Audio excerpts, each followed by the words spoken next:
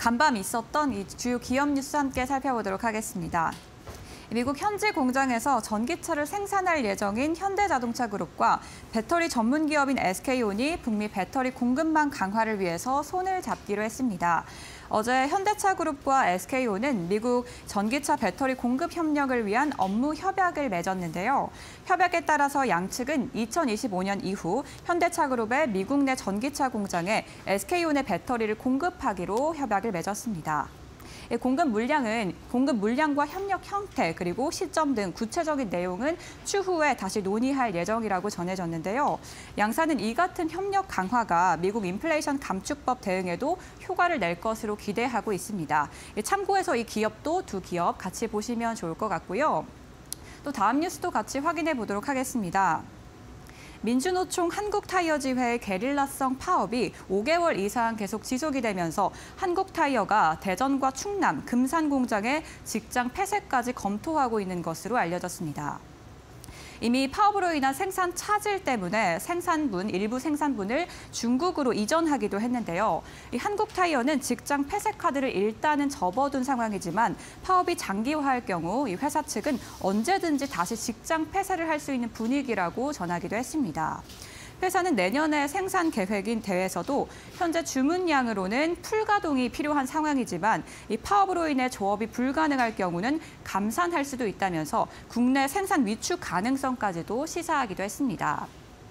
강성 노조의 파업이 국내 제조업 기반을 갉아먹고 있다는 비판도 커지고 있는데요. 이 관련한 기업과 뉴스도 체크해서 보시면 좋을 것 같습니다. 네, 계속해서 보도록 하겠습니다. 한국전력이 대구 혁신도시 입주 기간 한국부동산원을 상대로 낸 시설 부담금 소송에서 패소했습니다.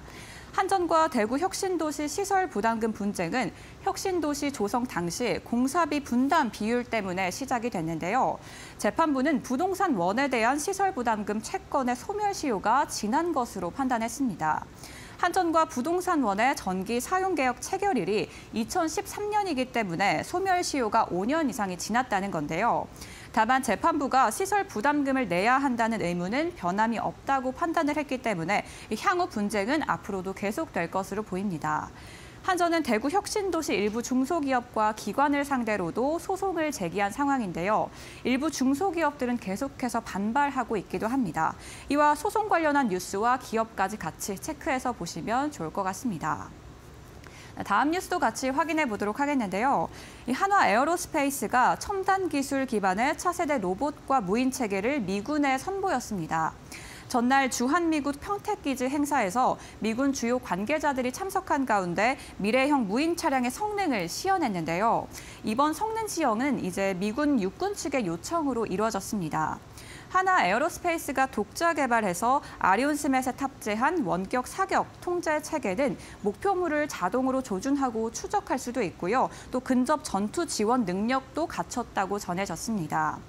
한화 에어로스페이스의 임원은 주한미군과 이 시범 운용에 대한 협의를 진행하고 향후 미군 국방부와 성능 비교 프로그램도 진행을 해서 미군의 신속 획득 사업에 참여하겠다고 밝혔는데요. 이 역시나 이 앞으로의 움직임도 한화 에어로스페이스 계속해서 체크해 보시면 좋을 것 같습니다. 지금까지 굿모닝 뷰의 김예솔이었습니다.